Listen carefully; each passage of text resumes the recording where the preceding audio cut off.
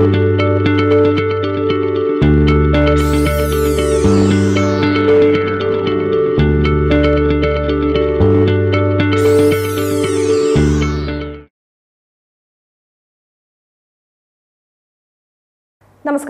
വ്യക്തികൾ വിശേഷങ്ങൾ എന്ന പ്രോഗ്രാമിന്റെ പുതിയൊരു എപ്പിസോഡിലേക്ക് എല്ലാവർക്കും സ്വാഗതം. ഇന്ന് നമ്മോട് കൂടെയുള്ളത് ഇന്ത്യൻ റെയിൽവേയിൽ ലോക്കോ പൈലറ്റായി സേവനമനുഷ്ഠിക്കുന്ന ബിജു തോമസ് ആണ് അദ്ദേഹത്തെ ഈ പരിപാടിയിലേക്ക് സ്വാഗതം ചെയ്യാം. നമസ്കാരം.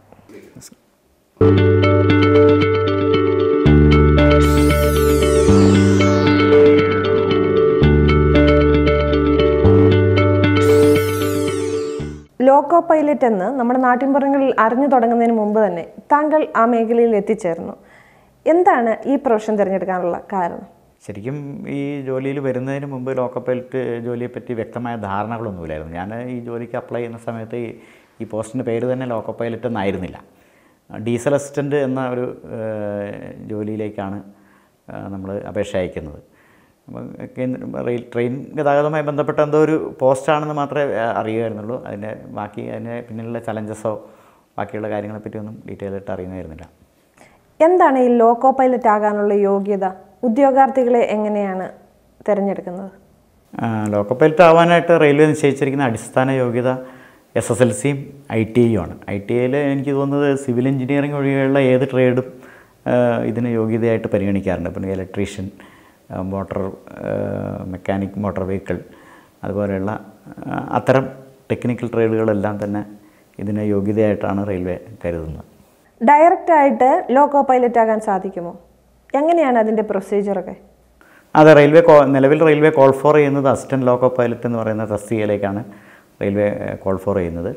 അതിന് അപ്ലൈ ചെയ്യുന്നത് പിന്നെ ഇതുപോലെ എസ് എസ് എൽ സിയും ഐ ടി ഐയും യോഗ്യതയുള്ള ആളുകൾക്ക് അപ്ലൈ ചെയ്യാം. പക്ഷേ പലപ്പോഴും തിരഞ്ഞെടുക്കപ്പെടുന്നത് എം ടെക് ബി ടെക് അതുപോലെ അതുപോലെ എഞ്ചിനീയറിംഗ് ഡിപ്ലോമയൊക്കെ കഴിഞ്ഞ ഉയർന്ന വിദ്യാഭ്യാസമുള്ള ആളുകളാണ് ഇപ്പോൾ അധികമായിട്ട് ഈ തസ്തികളിലേക്ക് കടന്നു വരുന്നത്. ഒരു ട്രെയിൻ സഞ്ചരിക്കുമ്പോൾ എത്ര പേരാണ് എൻജിൻ റൂമിൽ ട്രെയിൻ നിയന്ത്രിക്കുന്നതിനായിട്ട് ഉണ്ടാവുക? ലോക്കോ പൈലറ്റും അസിസ്റ്റന്റ് ലോക്കോ പൈലറ്റും പിന്നെ മറ്റാരെങ്കിലും ഉണ്ടാവുമോ? ആ അതെ. ലോക്കോ പൈലറ്റിനും ഒരു ലോക്കോ പൈലറ്റും ഒരു അസിസ്റ്റന്റ് ലോക്കോ പൈലറ്റുമാണ് ഇന്നത്തെ സാധാരണ ഇന്നത്തെ എഞ്ചിനുകളിൽ ലോക്കോമോട്ടീവുകളിൽ ഉണ്ടാകുന്നത് അവരെ രണ്ടുപേരെയും കൂടി collectively they are called as engine crew നിങ്ങൾ രണ്ടുപേർ മാത്രമേ ഉള്ളൂ അല്ലേ? അതെ അതെ. രണ്ടുപേരും മാത്രമേ ഉള്ളൂ. അപ്പോൾ ഓടിക്കൊണ്ടിരിക്കുന്ന ഒരു ട്രെയിനിന്റെ ഉത്തരവാദിത്തം നിങ്ങൾക്ക് മാത്രമാണോ? ആ, ട്രെയിനിന്റെ ഉത്തരവാദിത്തം എന്ന് പറഞ്ഞാൽ എഞ്ചിന്റെ ഉത്തരവാദിത്തം ഞങ്ങളുടെ കയ്യിൽ ആണെന്ന് പറയാം. ട്രെയിനിന്റെ ഉത്തരവാദിത്വം എന്ന് പറയുമ്പോൾ ട്രെയിനിൽ പലവിധമായ ഡ്യൂട്ടി നിർവഹിക്കുന്ന മറ്റ് റെയിൽവേ ജീവനക്കാരുണ്ട്. ഇപ്പോൾ ട്രെയിനിന്റെ അവസാനത്തുള്ള ഗാർഡ് റൂമിൽ ഗാർഡ് എന്ന് ഒരാളുണ്ട് അദ്ദേഹത്തിന് അദ്ദേഹത്തിന്റെ ചുമതലകളുണ്ട്. എഞ്ചിനെ സംബന്ധിച്ച് മൊത്തത്തിൽ ട്രെയിനെ സംബന്ധിച്ച് ചുമതലകളുണ്ട്. അത് കൂടാതെ എഞ്ചിനെ സംബന്ധിച്ച് എക്സ്ക്ലൂസീവ്ലി ലോക്കോ പൈലറ്റും അസിസ്റ്റന്റ് ലോക്കോ പൈലറ്റും തന്നെയാണ് അതിന്റെ ടെക്നിക്കൽ മെൻ. എന്തെങ്കിലും സാങ്കേതിക തകരാറുകളോ അല്ലെങ്കിൽ ഈ ട്രെയിനിന്റെ വേഗത നിയന്ത്രിക്കുന്നതിൽ അതുപോലെ അതിന്റെ സമയകൃത്യത നിലനിർത്തുന്നതിലൊക്കെ മുഖ്യമായ റോൾ എഞ്ചിൻ ക്രൂവിന് തന്നെയാണ്. പാസഞ്ചർ ട്രെയിനുകളിൽ ഒരു എഞ്ചിൻ മാത്രമേ കാണാൻ സാധിക്കൂ. എന്നാൽ ഗുഡ്സ് ട്രെയിനുകളിൽ ഒന്നിലധികം എഞ്ചിനുകൾ കാണാം. ഇതിനെക്കുറിച്ച് ഒന്ന് പറയാമോ? ആ ചോദ്യത്തിൽ എന്നോട് എന്ന് പറഞ്ഞാൽ സാധാരണ പാസഞ്ചർ ട്രെയിനാണ് അധികവും ഒരു എഞ്ചിൻ ഉണ്ടാവുക. അതായത് ഒരു എഞ്ചിൻ കൊണ്ട് ഹോൾ ചെയ്യാൻ പറ്റുന്ന ലോഡേ പാസഞ്ചർ ട്രെയിൻ ഉണ്ടാവുള്ളൂ. പാസഞ്ചർ ട്രെയിനിന്റെ ടയർ അതായത് ആളുകൾ കയറുന്നതിന് മുമ്പുള്ള അതിന്റെ ഭാരം എന്ന് പറയുന്നത് ഏകദേശം ഒരു എണ്ണൂറ് മുതൽ തൊള്ളായിരം ടണ്ണ് വരെയൊക്കെയാണ്. പാസഞ്ചർ ട്രെയിനില്ല സോറി എക്സ്പ്രസ് ട്രെയിനിന്റെ ഭാരം അത്രയാണ്. അതിന്റെ കണ്ടൻസ് എന്ന് പറയുന്നത് ആളുകൾ മറ്റ് പാഴ്സലൊക്കെ ലോഡ് ചെയ്തതിന് ശേഷം ഒരു പത്ത് മുന്നൂറ് മുന്നൂറ്റമ്പത് ടണ്ണാണ് അധികമായി വരിക. അപ്പോൾ ഒരു ആയിരം ആയിരത്തി ഇരുന്നൂറ് ടണ്ണ് മാത്രമുള്ള ഭാരം മാത്രമുള്ള വാഹനങ്ങളാണ് ഈ എക്സ്പ്രസ് ട്രെയിനുകൾ എന്ന് പറയുന്നത്. നേരെ മറിച്ച് ഗുഡ്സ് ട്രെയിനിലാണ് അയ്യായിരം ആറായിരം ഒക്കെ ടണ്ണുള്ള വലിയ കൺസൈൻമെന്റുകളുള്ളത് അപ്പോൾ അത് പിന്നെ വഹിച്ചു ഓടാൻ വേണ്ടിയാണ് നമുക്ക് ഒന്നിലധികം എഞ്ചിനുകൾ ആവശ്യം വരിക. അപ്പോൾ ഒന്നിലധികം എഞ്ചിനുകൾ ആവശ്യം വരുമ്പോൾ അത് മൾട്ടിപ്പിൾ യൂണിറ്റ് ആണെങ്കിൽ അതായത് ഒന്നിലധികം എഞ്ചിനുകൾ ഒരു യൂണിറ്റായിട്ട് ക്ലബ് ചെയ്തിട്ട് അത് ഒരു set of engine crew work ചെയ്യുന്ന സിസ്റ്റത്തിനാണ് മൾട്ടിപ്പിൾ യൂണിറ്റ് എന്ന് പറയുന്നത്. നേരെ മറിച്ച് ഡബിൾ ഹെഡ് ഓപ്പറേഷൻ എന്നൊക്കെ പറയുന്ന പരിപാടികളുണ്ട്. അതായത് ഓരോ എഞ്ചിനിലും ഓരോ സെറ്റ് എഞ്ചിൻ ക്രൂവിനെ ഉപയോഗിച്ച് വർക്ക് ചെയ്യുന്നതിനാണ് ഡബിൾ ഹെഡ് ഓപ്പറേഷൻ എന്ന് പറയുന്നത്. ഭാരം കൂടുതൽ ഉണ്ടാകുമ്പോഴാണ് നമുക്ക് ഒന്നിലധികം എഞ്ചിനുകൾ വേണ്ടി വരുന്നത്. പഴയ കാലത്ത് ഉപയോഗിച്ചിരുന്ന ചില എഞ്ചിനുകളിൽ ഇപ്പം അത് അബോളിഷായി തുടങ്ങിയിട്ടുണ്ട്. അങ്ങനെയുള്ള ചിലത് ഇപ്പോഴും നിലനിൽക്കുന്നതുകൊണ്ട് അതിന് ഇപ്പോൾ ഉദ്ദേശിച്ച അത്ര സ്പീഡൊക്കെ കിട്ടാത്തതുകൊണ്ട് ചില ഗ്രേഡിയൻ സെക്ഷനുകളിൽ അല്ലെങ്കിൽ ചില ഗാർഡ് സെക്ഷനുകളിലൊന്നും അങ്ങനെ പോകാൻ നമുക്ക് ആവശ്യമുള്ള സ്പീഡ് മെയിന്റെയിൻ ചെയ്യാൻ പറ്റാത്തതുകൊണ്ട് പഴയ മോഡൽ ചില എഞ്ചിനുകളിൽ മൾട്ടിപ്പിൾ യൂണിറ്റ് ആക്കി രണ്ടെണ്ണം ചില എക്സ്പ്രസ് ട്രെയിനുകൾക്ക് കൊടുക്കാറുണ്ട്. അല്ലാതെ പൊതുവേ പാസഞ്ചർ ക്യാരിയിങ് ട്രെയിനുകൾക്ക് നമുക്ക് ഒരു എഞ്ചിൻ മാത്രമേ ഉണ്ടാവുള്ളൂ ലോകത്തിൽ ഏറ്റവും കൂടുതൽ സമ്മർദ്ദം അനുഭവിക്കേണ്ടി വരുന്ന ജോലികളിൽ ഒന്നാണ് ലോക്കോ പൈലറ്റിന്റേത് എന്ന് കേട്ടിട്ടുണ്ട്. ആ സമ്മർദ്ദം ഉണ്ടാവാറുണ്ട്. കാരണം നമ്മളെ സംബന്ധിച്ച് നമ്മളിപ്പം ട്രെയിനുകളുടെ പങ്ക്ച്വാലിറ്റിയെ സംബന്ധിച്ച് റെയിൽവേയെ സംബന്ധിച്ച് നമ്മൾ പറയുമ്പോൾ പിന്നെ അതിന്റെ ലേറ്റ് അവേഴ്സൊക്കെ അതിന്റെ ബോർഡുകളിലൊക്കെ ഡിസ്പ്ലേ ചെയ്യുന്നത് ഇൻ ടൈംസ് ഓഫ് മിനിറ്റ്സ് ആണ്. അതായത് ഇപ്പോൾ ഇരുപത്തിനാല് മണിക്കൂർ വൈകി ഓടുന്നൊരു വണ്ടിയെ റെയിൽവേ ആയിരത്തി എഴുന്നൂറ്റി സംതിങ് മിനിറ്റ് വൈകി ഓടുന്നു എന്നൊക്കെയുള്ള രീതിയിലാണ് റെയിൽവേയുടെ ബോർഡുകൾ. അതൊക്കെ ഒരുപാട് പരസ്യ പിന്നെ റെയിൽവേയുടെ പെർഫോമൻസിനെ പറ്റി പല കളിയാക്കലുകൾക്ക് വിധേയമായിട്ടുള്ള കാര്യങ്ങളാണ്. അങ്ങനെ എത്ര പിന്നെ മണിക്കൂറുകളുള്ള വൈകി ഓർഡറുകൾക്ക് മറ്റു പല കാരണങ്ങളാണ് യഥാർത്ഥത്തിൽ. ഈ മേഖലയിൽ ജോലി ചെയ്യുന്ന ആളുകളോ അല്ലെങ്കിൽ റെയിൽവേയുടെ തന്നെ ഏതെങ്കിലും പിന്നെ മനഃപൂർവമായ വീഴ്ചകളോ കൊണ്ട് സംഭവിക്കുന്ന ഒരു കാര്യമല്ല ഒന്നുകിൽ കാലാവസ്ഥ കൊണ്ടോ അല്ലെങ്കിൽ സിസ്റ്റത്തിന്റെ വേറെ എന്തെങ്കിലും ഡാമേജ് കൊണ്ടോ വേറെ എന്തെങ്കിലും ഡീറെയിൽമെന്റ് പോലുള്ള സംഗതികൾ കൊണ്ട് നടക്കുന്ന ഒരു സംഗതിയാണ്. സാധാരണഗതിയിൽ നമ്മളൊരു ട്രെയിനിന്റെ പെർഫോമൻസ് എന്ന് പറയുന്നത് ലോക്കോ പൈലറ്റും അസിസ്റ്റന്റ് ലോക്കോ പൈലറ്റും അവർ അവരുടെ they are giving their maximum output for the punctual and safe running of a train ആ നിലയ്ക്ക് നോക്കുമ്പോൾ നമ്മൾ നിശ്ചയിക്കപ്പെട്ട സ്പീഡിൽ ഓടിക്കുന്നതും അതുപോലെ സുരക്ഷിതമായി വേഗത കുറയ്ക്കേണ്ട സ്ഥലത്ത് വേഗത കുറച്ചു. ഇപ്പം പെട്ടെന്ന് ട്രാക്കിൽ പെട്ടെന്നൊരു വർക്ക് ഇമ്പോസ് ചെയ്ത് കഴിഞ്ഞാൽ അതിനനുസരിച്ച് ചിലപ്പോൾ സ്പീഡ് കുറയ്ക്കേണ്ടി വരും. അതുപോലെ പെട്ടെന്ന് എന്തെങ്കിലും ഒരു ഇവഞ്ചാലിറ്റി കണ്ടു കഴിഞ്ഞാൽ നമ്മുടെ റിഫ്ലക്സ് ആക്ഷൻ എന്ന് പറയുന്ന സംഗതി വളരെ പ്രധാനമാണ്. അപകടങ്ങൾ ഒഴിവാക്കാനായിട്ട് പിന്നെ ഗോൾഡൻ മൊമെന്റ്സ് എന്നാണ് അതിന് പറയുക. അതായത് പെട്ടെന്ന് എന്തെങ്കിലും ഒരു സംഗതി കണ്ടു കഴിഞ്ഞാൽ അതിനോട് പ്രതികരിക്കാൻ നമ്മൾ തയ്യാറായിരിക്കണം. അപ്പോൾ അത് രാത്രിയെന്നോ പകലെന്നോ വ്യത്യാസമില്ലാതെ നമ്മൾ പ്രതികരിക്കണം. അങ്ങനെ പ്രതികരിച്ചാൽ മാത്രമേ നമുക്ക് പെട്ടെന്ന് ഉണ്ടാകുന്ന ഒരു അപകടമൊക്കെ ഒഴിവാക്കാൻ പറ്റുള്ളൂ. നമുക്കിപ്പോൾ മറ്റു റോഡ് വാഹനങ്ങളെപ്പോലെ നേരെ ഒരു വാഹനം നമുക്കെതിരെ വന്ന് ഇടിക്കാനോ ഒന്നും സാധാരണഗതിയിൽ സാധ്യമല്ല. പക്ഷേ ഈ പാളം എന്തെങ്കിലും തകരാറിലാകുകയോ അല്ലെങ്കിൽ പാലങ്ങൾ ഒഴിച്ചു പോയ കേസുകൾ വലിയ ഇപ്പോൾ കൊങ്കൺ റെയിൽവേ പോലുള്ള റൂട്ടുകളിൽ വലിയ തോതിലുള്ള മണ്ണിടിച്ചിൽ അല്ലെങ്കിൽ വലിയ പാറകളൊക്കെ നമ്മുടെ ട്രാക്കിലേക്ക് വീണു. ഇപ്പം നമ്മുടെ നാട്ടിലൊക്കെ തന്നെയാണെങ്കിലും നമുക്ക് ആറ് മാസത്തോളം മൺസൂൺ കിട്ടുന്ന നാടാണ് നമുക്ക്. അപ്പോൾ വലിയ മരങ്ങളൊക്കെ ട്രാക്കിലേക്ക് വീണാൽ അപ്പോൾ അതിന്റെ മേലെയൊക്കെ നമ്മൾ വലിയ വേഗതയിൽ പോയി ഇടിച്ചു കഴിഞ്ഞാൽ അപകടങ്ങൾ നടക്കാനുള്ള സാധ്യതകളുണ്ട്. അപ്പോൾ ആ തരത്തിൽ ഏത് സമയത്തും എന്തും നേരിടാനുള്ള ശരിക്കും പറഞ്ഞ ഒരു ഒരു പിന്നെ എല്ലാം പോസിറ്റീവായിരിക്കുമെന്ന് ചിന്തിച്ച് ജോലി ചെയ്യാൻ പറ്റുന്ന ഒരു ജോലിയല്ല ഇത്. പിന്നെ എന്തും നെഗറ്റീവായിട്ട് ഏത് സമയത്തും എന്ത് ഇവൻജാലിറ്റിയും വരാൻ സാധ്യതയുണ്ട് എന്ന് മനസ്സിലാക്കി ചെയ്യേണ്ട ഒരു ജോലിയാണ്. പിന്നെ ഈ സ്പീഡ് മെയിന്റെയിൻ ചെയ്യുന്ന കാര്യത്തിലൊക്കെ ആ- നിലയ്ക്ക് നോക്കിക്കഴിഞ്ഞാൽ ഏറ്റവും അധികം സമ്മർദ്ദം അനുഭവിക്കുന്ന ഒരു ഒരു വിഭാഗം തന്നെയാണ് പൈലറ്റ്. വളരെയേറെ ശ്രദ്ധ വേണ്ടി വരുന്ന ഒരു ജോലിയാണല്ലോ ഇത്. ഒരു തരത്തിലും ശ്രദ്ധ മാറിപ്പോകാൻ പാടില്ല. അതെ ഒരു റണ്ണിങ് ഡ്യൂട്ടി അതായത് ട്രെയിൻ ഓടിക്കൊണ്ടിരിക്കുന്ന സമയത്ത് എന്തായാലും നമുക്ക് ശ്രദ്ധ മാറ്റാൻ പറ്റില്ല. ശ്രദ്ധ മാറ്റിക്കഴിഞ്ഞാൽ ഇതുപോലെ എന്തെങ്കിലും ഒന്നുമില്ല എങ്കിൽ ഒന്നുമില്ല. ഒന്നും സംഭവിച്ചില്ല. പക്ഷേ ഇതുപോലെ എന്തെങ്കിലും ഒരു നമുക്ക് അപ്രിയമായ എന്തെങ്കിലും ഒരു നമുക്ക് പ്രതീക്ഷിക്കാത്ത തരത്തിലുള്ള കാര്യം നടന്നു കഴിഞ്ഞാൽ നമ്മുടെ ശ്രദ്ധ ആ സമയത്ത് മാറിയാൽ അത് അതിന് വളരെ മോശമായി ബാധിക്കും എന്നുള്ളത് സംശയമില്ലാത്ത കാര്യമാണ് ഒരു ദിവസം എത്ര മണിക്കൂറാണ് ഡ്യൂട്ടി ഉള്ളത്? സാധാരണഗതിയിൽ ഇപ്പോൾ പാസഞ്ചർ ട്രെയിൻ ആണെങ്കിൽ നമ്മുടെ പ്രത്യേകിച്ച് സ്റ്റാർട്ടിംഗ് സ്റ്റേഷൻ ഡെസ്റ്റിനേഷൻ സ്റ്റേഷനിൽ ഒരു ക്രൂ ചേഞ്ച് കഴിഞ്ഞ് ഒരു ക്രൂവിനെ ഓപ്പറേറ്റ് ചെയ്യുന്ന സെക്ഷനുകൾ അവർ ഡിഫൈൻ ചെയ്ത് കൊടുത്തിട്ടുണ്ട്. ആ ക്രൂ ചേഞ്ചിങ് പോയിന്റ് വരെ അയാൾ വർക്ക് ചെയ്താൽ മതിയാവും. മറ്റ് ഗുഡ്സ് ട്രെയിനുകളിലാണെങ്കിൽ സാധാരണഗതിയിൽ എട്ട് മണിക്കൂറിനും എട്ട് മണിക്കൂർ മുതൽ പത്ത് മണിക്കൂർ വരെ ചിലപ്പം ഡ്യൂട്ടി സമയം നീണ്ടു പോകാനുള്ള സാധ്യതകളുണ്ട്. നിങ്ങളാണ് ട്രെയിനിന്റെ ഏറ്റവും മുന്നിൽ. മുന്നിലുള്ള കാഴ്ചകളെല്ലാം നിങ്ങൾക്ക് കാണാം. ഓരോ ദിവസം ഓരോ സ്ഥലങ്ങളിലേക്കാണ് യാത്ര. എന്നാൽ ഈ മുന്നിൽ കാണുന്ന കാഴ്ചകളൊക്കെ ആസ്വദിച്ച് ജോലി ചെയ്യാൻ സാധിക്കുന്നില്ല എന്നൊരു വിഷമം എപ്പോഴെങ്കിലും തോന്നിയിട്ടുണ്ടോ? ജോലി ആസ്വദിക്കാൻ പറ്റുന്നതെന്ന് വെച്ചാൽ ഒരു ഓരോ സേഫ് ആൻഡ് പങ്ക്ചൽ റണ്ണിങ്ങിന് ശേഷം നമുക്ക് ശരിക്ക് പല പ്രതിബന്ധങ്ങളെ അതിജീവിച്ചാണ് നമ്മളൊരു ട്രെയിൻ വളരെ കൃത്യനിഷ്ഠയോടുകൂടി ഒരു സ്റ്റേഷനിൽ അറൈവലാകുന്നത്. അത് നമുക്ക് വ്യക്തിപരമായ നമ്മുടെ ഉള്ളിൽ നമുക്കൊരു സന്തോഷം നൽകുമെന്നുള്ളത് ശരി തന്നെയാണ്. ട്രെയിൻ ഓടിക്കുന്നതും അതിന്റെ നിയന്ത്രണങ്ങളെക്കുറിച്ചുമൊക്കെ ഒന്ന് പറയാമോ? ട്രെയിനുകൾ ഓടിക്കുന്നത് നമ്മുടെ സാധാരണ റോഡ് വെഹിക്കിൾസ് പോലെയല്ല. റോഡ് വെഹിക്കിൾസിൽ നമ്മൾ റോഡ് ക്ലിയർ ആണെങ്കിൽ നമുക്ക് നമ്മൾ സാധാരണ ഓടിച്ചങ്ങ് പോവുകയാണല്ലോ. ഇതിൽ അങ്ങനെയില്ല. ഇത് നമ്മൾ ഏതെങ്കിലും ഒരു സ്റ്റേഷനിൽ നിന്ന് ട്രെയിൻ യാത്ര ആരംഭിക്കുമ്പോൾ ആ യാത്ര പുറപ്പെടാൻ ആവശ്യമായ സിഗ്നലുകൾ നമുക്ക് കിട്ടണം. ആ സിഗ്നൽ കിട്ടിയാൽ പിന്നെ ആ അടുത്ത സ്റ്റേഷനിൽ എത്തുന്നതിന് മുമ്പ് ഈ ട്രെയിൻ നിർത്തുന്നതിന് ആവശ്യമായ പല പലവിധ കാരണങ്ങളാൽ ട്രെയിൻ നിർത്തേണ്ടത് വരും. ആ നിർത്തുന്നതിന് ആവശ്യമായ സിഗ്നലുകളൊക്കെ ഉണ്ട്. അപ്പോൾ ആ സിഗ്നലുകളൊക്കെ ഒബേ ചെയ്താണ് നമ്മൾ ട്രെയിൻ ഓടിക്കേണ്ടത്.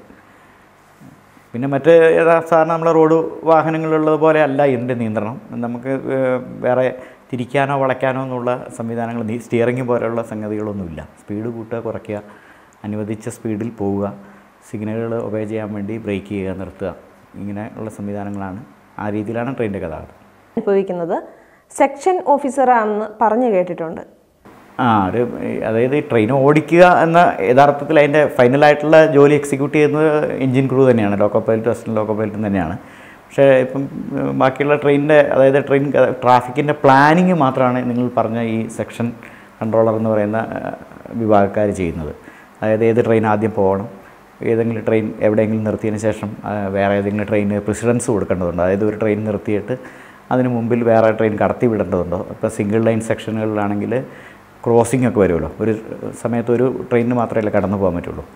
അപ്പോൾ ഒരു ട്രെയിൻ നിർ ഒരു സ്റ്റേഷനിൽ നിർത്തിയതിന് ശേഷം മറ്റേ ട്രെയിൻ വന്നതിന് ശേഷം മാത്രമേ ഇത് കടന്നു പോകുക അപ്പോൾ അങ്ങനെയുള്ള ക്രോസിങ്ങുകൾ അറേഞ്ച് ചെയ്യുന്നതിൽ ഏത് ട്രെയിനാണ് പ്രിഫറൻസ് അങ്ങനെയുള്ള കാര്യങ്ങളൊക്കെ ആ ട്രെയിനിന്റെ ഇമ്പോർട്ടൻസും അതിന്റെ പങ്ക്ച്വാലിറ്റി അതുകൊണ്ട് നിലവിലുള്ള സാഹചര്യം വെച്ചിട്ട് അത് പ്ലാൻ ചെയ്യുക എന്നുള്ള ജോലിയാണ് അവർക്ക് ചെയ്യാനുള്ളത്. നാം പത്രങ്ങളിലൊക്കെ വായിക്കാറുണ്ടല്ലോ ട്രെയിനിന് മുന്നിൽ ചാടി ആത്മഹത്യ ചെയ്യുന്നവരെക്കുറിച്ചും അതുപോലെ തന്നെ അറിയാതെ ട്രെയിനിന് മുന്നിൽ പെട്ട് മരണപ്പെടുന്നവരെക്കുറിച്ചുമൊക്കെ. ഇത്തരത്തിലുള്ള ദയനീയ കാഴ്ചകൾ താങ്കൾക്ക് കാണേണ്ടി വന്നിട്ടുണ്ടോ? ആത്മഹത്യയും അപകട മരണമൊക്കെ നമ്മൾ നേരിട്ട് കാണുന്നുണ്ട്. നമ്മുടെ ജോലിയിലെ ഒരു സാഡ് പാർട്ടായിട്ടാണ് നമ്മൾ അതിനെ കാണുന്നത്. ഒരു മനുഷ്യജീവൻ വിലപ്പെട്ട ഒരു മനുഷ്യജീവൻ നഷ്ടപ്പെടുക എന്ന് പറയുന്നത് നമ്മൾ അതിനെ അറിഞ്ഞോ അറിയാതെ അതിന്റെ ഭാഗമായി മാറുന്നത് നമ്മളെ സംബന്ധിച്ച് സങ്കടകരമായൊരു കാര്യമാണ്. നിരവധിയായിട്ടുള്ള അങ്ങനെ സംഭവങ്ങൾ കണ്ടിട്ടുണ്ട്. ആദ്യമായിട്ടുണ്ടാകുന്നത് ഞാൻ രാത്രി അസിസ്റ്റന്റ് ലോക്കോ പൈലറ്റിന്റെ ജോലി ചെയ്യുമ്പോഴാണ്. വെസ്റ്റ് കോസ്റ്റ് എക്സ്പ്രസ് തിരൂർ സ്റ്റേഷനോട് അടുക്കുമ്പോൾ അന്നത്തെ കാലത്ത് അവിടെ ഡബിളിംഗ് വർക്കിന് വന്ന ഏതൊരു തൊഴിലാളി രാത്രി സമയത്ത് അയാളെ ജോലിയൊക്കെ കഴിഞ്ഞ് ക്ഷീണിച്ച് അവശനായി ഇരിക്കുന്ന പോലെയാണ് എനിക്ക് തോന്നിയത് രാത്രി. കറുത്ത ഒരു ഷർട്ടൊക്കെ ധരിച്ച് അയാൾ റെയിലിന്റെ മേലെ ഇരുന്നു. ഏകദേശം ഒരു ഇരുന്നൂറ് മീറ്റർ ദൂരത്ത് നിന്ന് ട്രാക്കിന് മേലെ എന്തോ ഒരു കല്ലിരിക്കുന്ന പോലെയാണ് നമുക്ക് തോന്നിയത്. എന്തെങ്കിലും ഒരു ആക്ഷൻ ഇനിഷ്യേറ്റ് ചെയ്യുന്നതിന് മുമ്പ് തന്നെ നല്ല സ്പീഡിലുണ്ടായിരുന്ന ട്രെയിൻ അയാളെ ഇടിച്ചു തെറിപ്പിച്ചു അയാൾ മരണപ്പെട്ടു. അപ്പോൾ അതെന്റെ ജീവിതത്തിൽ വളരെ ആദ്യമായ സംഭവമായതുകൊണ്ടും അതിന്റെ ഒരു അമ്പരപ്പും വിഷമവും മാറാൻ കുറേ സമയമെടുത്തു. ആദ്യത്തെ ഒരു അമ്പരപ്പ് മാറിയതിന് ശേഷം എന്റെ കൂടെ ഉണ്ടായിരുന്ന സീനിയർ ലോക്കോ പൈലറ്റിനോട് ഞാൻ ചോദിച്ചു എൻ എന്റെ ജീവിതത്തിൽ ആദ്യമായിട്ടാണ് ഇങ്ങനെ സാറിന് എന്തെങ്കിലും അനുഭവം ഉണ്ടോ? എന്ന് ചോദിച്ചപ്പോൾ പുള്ളി എന്നോട് പറഞ്ഞത് നൂറ്റി ഒമ്പതാമത്തെ അനുഭവമാണെന്നുള്ളത്.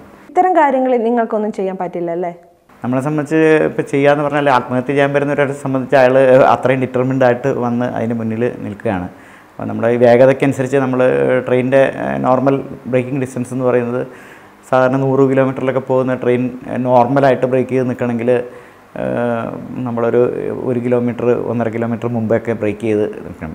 ട്രെയിനിനെ സംബന്ധിച്ച് നമ്മുടെ റോഡ് വെഹിക്കിൾസ് പോലെയല്ല. സാധാരണഗതി ഗ്രാജുവൽ ബ്രേക്ക് ആപ്ലിക്കേഷനും ഗ്രാജുവൽ ബ്രേക്ക് റിലീസുമാണ്. പെട്ടെന്ന് സഡനായിട്ട് അപ്ലൈ ചെയ്ത് സഡനായിട്ട് റിലീസ് ചെയ്യുന്ന ഒരു പരിപാടി ഇതിൽ പോസിബിൾ അല്ല. അപ്പോൾ എമർജൻസി ബ്രേക്കിംഗ് ഡിസ്റ്റൻസ് അതായത് maximum full effort braking effort കൊടുത്താൽ പോലും ഒരു പ്ലെയിൻ ആയിട്ടുള്ള സെക്ഷനിൽ വണ്ടി നിൽക്കണമെങ്കിൽ പത്ത് നാനൂറ് മീറ്ററോളം പോയിട്ട് നിൽക്കുള്ളൂ. അപ്പോൾ പെട്ടെന്ന് മുന്നിൽ വന്ന് പെടുന്ന ഒരാളെ ജീവൻ സേവ് ചെയ്യുക എന്ന് പറയുന്നത് പ്രായോഗികമായിട്ട് അസാധ്യമാണ്. ഈ പാളങ്ങൾ കാണുമ്പോൾ ചില ആളുകളുടെ ധാരണ ഈ പാളങ്ങളുടെ വീതി മാത്രമേ ട്രെയിനുള്ളൂ എന്നാണ്. പാളം ക്രോസ് ചെയ്യാൻ നിൽക്കുന്ന സമയത്ത് ഏതെങ്കിലും ട്രെയിൻ കടന്നു പോകുകയാണെങ്കിൽ അവർ പാളത്തിനോട് ചേർന്ന് തന്നെ നിൽക്കുന്നത് കാണാം. ശരിക്കും പറഞ്ഞാൽ വാഹനങ്ങൾ റോഡിൽ കൂടെ പോകുമ്പോൾ സൈഡിൽ നിൽക്കുന്നത് പോലെ. എത്ര അപകടം നിറഞ്ഞതാണ് അവരുടെ ഈ നിൽപ്പ് എന്ന് അവർ മനസ്സിലാക്കുന്നില്ല. അതെ അതെ. അത് പിന്നെ എനിക്ക് ഇത് കാണുന്ന വ്യൂവേഴ്സിനോട് പറയാനുള്ള ഒരു റിക്വസ്റ്റും അതാണ്. നമ്മുടെ സാധാരണ നമ്മുടെ ഇവിടെയുള്ള ഓടുന്ന ട്രെയിനുകളൊക്കെ ബ്രോഡ് ഗേജ് ട്രെയിനുകളാണ്. അതിന്റെ വീതി എന്ന് പറയുന്നത് ആയിരത്തി അറുന്നൂറ്റി എഴുപത്താറ് എം എം ആണ്. രണ്ട് റെയിലുകൾ തമ്മിലുള്ള അകലം എന്ന് പറയുന്നത് ആയിരത്തി അറുന്നൂറ്റി എഴുപത്താറ് എം എം ആണ്. അപ്പോൾ ആ അകലത്തിലാണ് രണ്ട് റെയിലുകൾ ഉണ്ടാവുക. പക്ഷേ നമ്മുടെ ആക്ച്വൽ ട്രെയിൻ എന്ന് പറയുന്നത് നമ്മുടെ ട്രെയിനിന്റെ വീലുകളാണല്ലോ ആ ട്രാക്കിന്റെ മേലെ റെസ്റ്റ് ചെയ്യുന്നത്. അതിന് അപ്പുറത്തേക്ക് ഇപ്പുറത്തേക്കും ട്രെയിനിന്റെ ബോഗിയുടെ ബോഡി അപ്പുറത്തേക്ക് ഇപ്പുറത്തേക്ക് പ്രൊജക്റ്റ് ചെയ്ത് നിൽക്കുന്നത് നമ്മൾ ട്രെയിനിൽ കയറിയിട്ടുള്ള ആളുകൾക്കറിയാം ഒരു ഇതിന്റെ നീളം തന്നെ ഒരു സാധാരണ ബർത്തിന്റെ നീളം തന്നെ അതിലും അധികമായിട്ടുണ്ടാവും. അപ്പോൾ അതിന് അപ്പുറത്തേക്ക് ഇപ്പുറത്തേക്കും ഈ വരുന്ന നമ്മൾ അപ്രോച്ച് ചെയ്യുന്ന ട്രെയിനിന്റെ ഭാഗങ്ങൾ ഉണ്ടാവും. അപ്പോൾ ഈ റെയിലിന്റെ അടുത്ത് വന്ന് നിൽക്കുക എന്ന് പറയുന്നത് ഒരു മണ്ടത്തരമാണ്. അല്ലെങ്കിൽ ചിലർ ആ റെയിൽ വിട്ടിട്ട് അതിന്റെ റെയിലിന്റെ രണ്ട് സൈഡിലേക്കുള്ള സ്ലീപ്പറിന്റെ ഭാഗത്തൊക്കെ നിന്ന് കടന്നു പോയിക്കോട്ടെ എന്ന് വെച്ച് ചെറുതായിട്ട് ശരീരമൊക്കെ വളച്ച് അങ്ങനെ സൈഡ് കൊടുത്ത് നിൽക്കുന്ന പോലെ നിങ്ങൾ ഇതിലെ കടന്നു പോയിക്കോളൂ ഞങ്ങൾക്ക് കുഴപ്പമൊന്നുമില്ല എന്നുള്ള രീതിയിലൊക്കെ നിൽക്കുന്നത് അവരൊക്കെ ശരിക്കും അപകടത്തിലേക്ക് നടന്നെടുക്കുകയാണ്. ഇത് നല്ല വേഗതയിൽ പോകുന്ന ഒരു ട്രെയിനിന്റെ തൊട്ടടുത്ത് നിന്നാൽ തന്നെ ഒരാളുടെ ലൂസായിട്ടുള്ള വസ്ത്രത്തിന്റെ ഭാഗങ്ങളൊക്കെ തന്നെ ഇതിന്റെ മേലെ ഉടക്കിയൊക്കെ പോലും അതിലേക്ക് വലിച്ചഴക്കപ്പെടാനും അപകടത്തിൽപ്പെടാനും ഒക്കെയുള്ള സാധ്യതകളുണ്ട്. അപ്പോൾ റെയിൽവേ ട്രാക്ക് എന്ന് പറയുന്നത് എക്സ്ക്ലൂസീവ്ലി ട്രെയിനിന് കടന്നു പോകാൻ വേണ്ടി മാത്രമുള്ളതാണ്. അപ്പോൾ നമുക്ക് അത്യാവശ്യം വേണ്ടുന്ന സൗകര്യ സമയത്ത് അത് മുറിച്ച് കിടക്കുകയാണെങ്കിൽ അത്ര ശ്രദ്ധാപൂർവം മാത്രമേ നമ്മളത് മുറിച്ച് കടക്കാൻ പാടുള്ളൂ. സ്റ്റേഷനിൽ മറ്റേ ഫുട് ഓവർ ബ്രിഡ്ജ് പോലുള്ള സൗകര്യങ്ങളുള്ള സ്ഥലത്ത് നമ്മളത് പ്രയോജനപ്പെടുത്തണം. അല്ലാത്ത സമയത്ത് നമ്മൾ ചെയ്യുന്നത് അത്യന്തം സുരക്ഷിതമായ രീതിയിൽ വേണം ചെയ്യാൻ. ട്രെയിൻ ഓടുന്ന സമയത്ത് നമ്മൾ പലതരം അപകടങ്ങളെ നേരിടാൻ തയ്യാറായിരിക്കണം അല്ലേ? പാളം തെറ്റാം ട്രെയിനുകൾ കൂട്ടിമുട്ടാം അതുപോലെ തന്നെ പാലങ്ങൾ തകരാം അങ്ങനെ പല അപകടങ്ങൾ. അതിനേക്കാൾ ഉപരിയായിട്ട് അട്ടിമറി ഭീഷണികളും ഉണ്ടായേക്കാം. ഇതിനെയൊക്കെ എങ്ങനെ നോക്കിക്കാണും നമ്മുടെ കേരളത്തിൽ പൊതുവെ തീവണ്ടി അപകടങ്ങൾ നമുക്ക് അധികം ജീവൻ നഷ്ടപ്പെട്ട തീവണ്ടി അപകടങ്ങൾ കുറവാണ്. കാര്യമായിട്ട് നടന്നിരിക്കുന്ന അപകടം എന്ന് പറയുന്നത് ഒന്ന് തിരുവനന്തപുരം ഡിവിഷനിൽ കീഴിൽ നടന്ന പെരുമൺ ദുരന്തം. ബാംഗ്ലൂരിൽ നിന്ന് കന്യാകുമാരിക്ക് പോകുന്ന ഐലൻഡ് എക്സ്പ്രസ് അവിടെ ഒരു പാലത്തിന്റെ മേലെ അപകടത്തിൽപ്പെട്ടാണ്. പാലത്തിൽ നിന്ന് പിന്നെ പെരുമൺ പാലത്തിന്റെ മേലെ നിന്ന് മറിഞ്ഞ അഷ്ടമുടിക്കായലിൽ വീണ് ആളുകൾ മരണപ്പെട്ട ഒരുപാട് ആളുകൾ മരണപ്പെട്ട ഒരു സംഭവമാണ്. അത് കമ്മീഷണർ ഓഫ് റെയിൽവേ സേഫ്റ്റി അന്വേഷിച്ചതിന് ശേഷം അവസാനം ടൊർണാഡോ ചുഴലിക്കാറ്റ് ആ പ്രദേശത്ത് മാത്രമായിട്ട് വീശിയടിച്ചതുകൊണ്ടാണ് അപകടം നടന്നതെന്നുള്ള രീതിയിലൊരു ഫൈൻഡിങ്സ് ആണ് പിന്നെ അതിനെപ്പറ്റി കൂടുതലായിട്ട് പറയാൻ എന്റെ പൊസിഷൻ തന്നെ അനുവദിക്കുന്നില്ല. മറ്റൊരു അപകടം നടന്നത് കടലുണ്ടി ആക്സിഡന്റാണ്. കടലുണ്ടി പാലം തകർന്ന് മദ്രാസ് മെയിൽ കടലുണ്ടി പുഴയിലേക്ക് മറിഞ്ഞ് അമ്പത്തിരണ്ട് ജീവനുകൾ നമുക്ക് നഷ്ടപ്പെട്ടു. ഇതാണ് കേരളത്തിൽ നടന്നിട്ടുള്ള വലിയ തീവണ്ടി അപകടങ്ങൾ. മറ്റ് അട്ടിമറി ഭീഷണികളെപ്പറ്റി പറയുകയാണെങ്കിൽ നമ്മളെ സംബന്ധിച്ച് മറ്റ് വിഭാഗീയ പ്രവർത്തനം നടത്തുന്ന തീവ്രവാദ പ്രവർത്തനങ്ങളൊക്കെ ഏർപ്പെടുന്ന സംഘടനകൾ നമ്മുടെ സംസ്ഥാനത്ത് പൊതുവെ കുറവാണ്. ക്രമസമാധാന നില ഒക്കെ നമുക്ക് വളരെ മെച്ചപ്പെട്ട നിലയിലാണ്. പിന്നെ ഒരു ഒറ്റപ്പെട്ട സംഭവം എന്നുള്ള നിലയിൽ ഒരു അട്ടിമറി ശ്രമം നടന്നത് നിലമ്പൂർ നിർത്തിയിട്ടിരുന്ന ഒരു പാസഞ്ചർ ട്രെയിനിന്റെ ബ്രേക്ക് പൈപ്പ് മാവോവാദികളെന്ന് സംശയിക്കുന്ന ആളുകൾ മുറിച്ച് മാറ്റിയതായിട്ടുള്ള ഒരു സംഭവം ഒരു ഏതാനും വർഷങ്ങൾക്ക് മുമ്പ് നടന്നിരുന്നു. നിലമ്പൂർ കരുളായി വനമേഖലയിലൊക്കെ ഇവരുടെ ആദിവാസികളുടെ ഒരു നാടുകാണി ദളം എന്നൊക്കെ പറഞ്ഞ സംഗതികളുണ്ട് അപ്പോൾ അവരെപ്പോൾ അവരുടെ അവരിൽപ്പെട്ട ആളുകളായിരിക്കാം എന്നുള്ളൊരു സംശയമാണ് ആ അതിനെപ്പറ്റിയുള്ള അന്വേഷണത്തിൽ പോലീസൊക്കെ പറഞ്ഞത്. ലോക്കോ പൈലറ്റ് ആകാൻ ആഗ്രഹിക്കുന്ന ഉദ്യോഗാർത്ഥികളുടെ അറിവിലേക്കായി താങ്കൾക്ക് എന്താണ് പറയാനുള്ളത്? ലോക്കോ പൈലറ്റ് എന്നുള്ള പരിപാടി നമ്മളെ ഏകദേശം പിന്നെ എനിക്ക് തോന്നുന്നത് കുറച്ച് ഡിസിപ്ലിൻഡ് ആയിട്ട് ഏഹ്, പിന്നെ ജോലി ചെയ്യുന്ന അതായത് പട്ടാളത്തിലൊക്കെ ഉള്ള പോലെ തന്നെ. ഏത് രാത്രി വിളിച്ചാലും പോകണം. ഇപ്പം പിന്നെ നാളെ എന്റെ ഡ്യൂ ഡ്യൂട്ടി അത് സമയത്ത് തുടങ്ങുമെന്ന് എനിക്കിപ്പോൾ പറയാൻ പറ്റില്ല. ചിലപ്പോൾ മിഡ് നൈറ്റിലാവാം അല്ലെങ്കിൽ ഏർലി മോർണിംഗ് ആവാം ഓഡ് അവേഴ്സിലാവാം അത് ചിലപ്പം ഡ്യൂട്ടി ചിലപ്പോൾ അവസാനിക്കുന്ന ഐസൊലേറ്റഡ് പ്ലേസിലാണ് ഞാനൊരു ഗുഡ്സ് ലോക്കൽ പൈലറ്റ് ഗുഡ്സിന്റെ ബേസ് ചെയ്തിട്ടാണ് പറയുന്നത്. അപ്പോൾ അങ്ങനെ ഒരു ചലഞ്ചിങ് ആയിട്ടുള്ള ജോബാണ്. അപ്പോൾ അത് പറ്റില്ല. എനിക്ക് രാവിലെ ഇന്ന- സമയത്ത് എണീറ്റ് ഇന്ന സമയത്ത് ജോലിക്ക് പോകണം ഇന്ന സമയത്ത് തിരിച്ചു വരണം എന്നൊക്കെ ആഗ്രഹിക്കുന്ന ഒരാളെ അങ്ങനെ ഒരു ഓർഡേഡ് ലൈഫ് എന്നും ആഗ്രഹിക്കുന്ന ഒരാളെ സംബന്ധിച്ച് ഈ ജോലി പറ്റില്ല. ബട്ട് നേരെ മറിച്ച് ഏത് സമയത്തും വിളിച്ചാലും നമ്മൾ ജോലി ചെയ്യാൻ സന്നദ്ധനായിട്ട് പോകുന്ന അതിന് തയ്യാറുള്ള ഒരാൾക്ക് മാത്രമേ ഇത്തരം ഒരു ജോലി അക്സെപ്റ്റ് ചെയ്യാൻ പറ്റുള്ളൂ. ട്രെയിൻ ഗതാഗതത്തെക്കുറിച്ച് അല്ലെങ്കിൽ ട്രെയിൻ യാത്രയിൽ ശ്രദ്ധിക്കേണ്ട കാര്യങ്ങളെക്കുറിച്ച് അപകടകരമായ ക്രോസിങ്ങുകളെക്കുറിച്ചൊക്കെ താങ്കൾക്ക് പൊതുജനങ്ങളോട് എന്താണ് പറയാനുള്ളത്? ട്രെയിൻ ഗതാഗതം ത്തെ സംബന്ധിച്ച് പൊതുജനങ്ങൾ വളരെ സുരക്ഷിതമായിട്ടും സന്തോഷപ്രദമായിട്ട് സൗകര്യപ്രദമായിട്ട് യാത്ര ചെയ്ത് തീർക്കണമെങ്കിൽ റെയിൽവേ റെയിൽവേ അധികാരികൾ പറയുന്ന നിർദ്ദേശങ്ങൾ അനുസരിച്ച് വേണം നമ്മൾ ചെയ്യാൻ. അപ്പോൾ അങ്ങനെയുള്ള കാര്യങ്ങളിൽ നമ്മൾ ട്രാക്ക് മുറിച്ച് കിടക്കാതിരിക്കുക അതുപോലെ വൈദ്യുതീകരിച്ച ലൈനിന്റെ മേലെയുള്ള ഒ എച്ച് എന്ന് പറയും ഓവർഹെഡ് എക്യുപ്മെന്റ് ഇരുപത്തയ്യായിരം വോൾട്ട് കടന്നു പോകുന്ന ഇലക്ട്രിക് ലൈനുകൾ അതോ അതിന്റെ മറ്റ് ഭാഗങ്ങളിലോ സ്പർശിച്ചു കഴിഞ്ഞ് കഴിഞ്ഞാൽ വളരെ പെട്ടെന്ന് തന്നെ ആൾ ഇലക്ട്രോക്യൂട്ടഡ് ആണ് പക്ഷേ വൈദ്യാഘാതമായിട്ട് മരിക്കാനുള്ള സാധ്യതയുണ്ട്. അപ്പോൾ അത്തരം കാര്യങ്ങളിൽ നിന്ന് അകന്ന് നിൽക്കണം. ഏതെങ്കിലും ട്രെയിനിന്റെ കോച്ചിന്റെ മേലെയോ എഞ്ചിന്റെ മേലെയോ ഒന്നും കയറാ യാത്ര ചെയ്യാതിരിക്കുക. മറ്റു പല സംസ്ഥാനങ്ങളിലൊക്കെ അങ്ങനെ ചെയ്യുന്നത് നമ്മൾ കണ്ടിട്ടുണ്ട്. അതിപ്പോൾ ഇലക്ട്രിഫൈഡ് ഏരിയയിൽ അത് വളരെ ഡേഞ്ചറസ് ആണ്. ആളുകൾ മരണപ്പെടാനുള്ള സാധ്യതയുണ്ട്. ചിലപ്പോൾ മാനസിക നില തെറ്റിയ ആളുകളൊക്കെ അങ്ങനെ ചെയ്യുന്നതോ അല്ലെങ്കിൽ അതുപോലെ എന്തെങ്കിലും ക്യൂരിയോസിറ്റിയുടെ പേരെയോ അല്ലെങ്കിൽ സെൽഫി എടുക്കാനൊക്കെ ആയിട്ട് ആളുകൾ ഇതിന്റെ മേലെയൊക്കെ കയറുന്ന സ്ഥിതിയൊക്കെ കണ്ടിട്ടുണ്ട്. അതൊക്കെ വളരെ ഡേഞ്ചറസ് ആണ്. അതുപോലെ പിന്നെ റെയിൽ യൂസർ അല്ലാത്ത പബ്ലിക് പൊതുവേ റെയിൽവേ ഏരിയയിലൊക്കെ ഉള്ളവർ ഈ കൊച്ചുകുട്ടികളാണെങ്കിൽ ട്രാക്കിന്റെ മേലെ കല്ല് വയ്ക്കുക നാണയങ്ങൾ വയ്ക്കുക ട്രെയിൻ കടന്നു പോകുമ്പോൾ അത് കണ്ട് രസിക്കുക ഇതുപോലുള്ള പരിപാടികളൊക്കെ ഉണ്ട്. അപ്പോൾ ഒരു ദിവസം കയ്യിൽ കിട്ടുന്നത് ഈ കല്ലിന് പകരം എന്തെങ്കിലും മെറ്റാലിക് പീസ് ആണെങ്കിൽ ഒരു പക്ഷേ ട്രെയിനിന്റെ യാത്ര തന്നെ തടസ്സപ്പെടുത്താൻ അല്ലെങ്കിൽ അതിനെ അപകടത്തിലാക്കാനുള്ള സാധ്യതയുണ്ട്. അപ്പോൾ അങ്ങനെ വന്നു കഴിഞ്ഞാൽ പൊതുവേ അനേകായിരം ആളുകളുടെ ജീവനം കൊണ്ട് പോകുന്ന ഒരു വാഹനം എന്നുള്ള നിലയ്ക്ക് അത് അത്തരം ഈ ആ ഒരു ട്രെയിനിന്റെ പ്രയാണത്തെ അപകടപ്പെടുത്തുന്ന സ്ഥിതിയെ നമുക്കൊരു രാജ്യദ്രോഹ കുറ്റമായിട്ട് തന്നെ രാജ്യം കണക്കാക്കുകയുള്ളൂ. അപ്പോൾ അത്തരത്തിലുള്ളൊരു കേസ് റെയിൽവേ പ്രൊട്ടക്ഷൻ ഫോഴ്സോ അല്ലെങ്കിൽ റെയിൽവേ പോലീസോ എടുത്തു കഴിഞ്ഞാൽ നിങ്ങൾക്ക് അതിൽ നിന്ന് പെട്ടെന്ന് രക്ഷപ്പെട്ട് വരാനൊന്നും പറ്റില്ല. തന്നെയല്ല അത് ആളുകൾക്ക് ഉണ്ടാക്കുന്ന ഇമ്പാക്റ്റിനെ പറ്റിയാണല്ലോ നമ്മൾ ചിന്തിക്കേണ്ടത്. അപ്പോൾ അത് അങ്ങനത്തരത്തിലുള്ള പ്രവൃത്തികളിൽ നിന്ന് ആളുകൾ അകന്നു നിൽക്കണം. സ്കൂളുകളിലൊക്കെ അതിനെപ്പറ്റി കുട്ടികളെ ചെറുപ്പക്കാരെ കോളേജുകളിലൊക്കെ ബോധവൽക്കരിക്കണം. ഇത്തരത്തിലുള്ള പ്രവൃത്തികളിൽ നിന്ന് ആളുകൾ അകന്നു നിൽക്കാൻ വേണ്ടി ഉള്ള പ്രവൃത്തികളിൽ ഏർപ്പെടണം എന്നാണ് പറയുന്നത് എവിടെയാണ് താങ്കൾ ഇപ്പോൾ താമസിക്കുന്നത്? ഞാൻ എന്റെ സ്വദേശം കാഞ്ഞങ്ങാടാണ്. ഇപ്പോൾ താമസം ജോലിയുടെ ഭാഗമായിട്ട് താമസം കോഴിക്കോടേക്ക് മാറ്റി അവിടെ കുടുംബത്തോടൊപ്പം അവിടെ താമസിക്കുന്നു. താങ്കൾ ഫാമിലിയെ കുറിച്ചൊന്ന് പറയാമോ? ഭാര്യ വീട്ടമ്മയാണ് രണ്ട് കുട്ടികൾ ഏഴാം ക്ലാസ്സിലും നാലാം ക്ലാസ്സിലായി പഠിക്കുന്നു. ഇത്ര നേരം ഞങ്ങളുമായി ചെലവഴിച്ചതിന് നന്ദി. thank you